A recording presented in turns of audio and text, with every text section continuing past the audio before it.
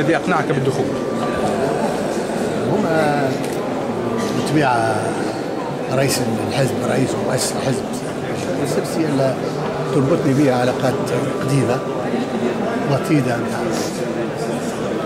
عمل مشترك لأن خدمنا مع بعضنا عملنا مع بعضنا في الحزب الاشتراكي في الدستور كمسؤولين وخدمنا مع بعضنا في حكومات في حكومات مهمة ثم كان بحسن حظي أنا كنت ضمن الفريق اللي آه، تولى الحكومة في الفترة الانتقالية بعد الثورة في 2011 الشرعية التوافقية هي فكرة باجي قايد سيسي هو أول تحدث عليها وقال الشرعية الانتخابية ضعفت لأن المسؤولية بتاعها محدودة بالزمن ولهذا لازمنا ندعموها بشرعية.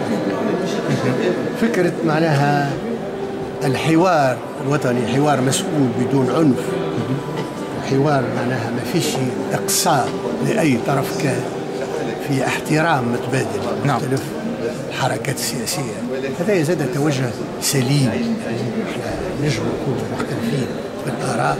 أنا مش ضروري باش أنت تحاول باش تنهي وجودي ولا أنا نحاول باش باش ما نعترفش بحضورك ولا وجودك اذا أنت مقتنع بأهداف نداء أنا مقتنع بالاهداف وثانيا شفت ال- الكثير من الإنجازات اللي تمت خاصة التوافق هذا جاب فهمتي ولا؟ جاب دستور متقدم دستور يعني فيه يعني آفاق جديدة وفيه ضمان الحريات وفيه. ضمان معناها لحقوق ال- الإنسان وضمان فهمتي للقانون فهمتي القانون. الدستور هذا هو نتيجة الوفاق والوفاق فهمتي في حد ذاته ربح وكسب تونس. ثم جاء الوفاق هذا جاءت حكومة مستقلة الا باش تحاول تهيئ لانتخابات حرة وانتخابات شفافه اليوم فهمتي ولا إحنا في حاجة أكثر من أي وقت باش نواصلوا الحوار نتاعنا اولا باش خريطة الطريق تتحقق. باش الظروف معناها تكون ملائمة لانتخابات حرة وشفافة.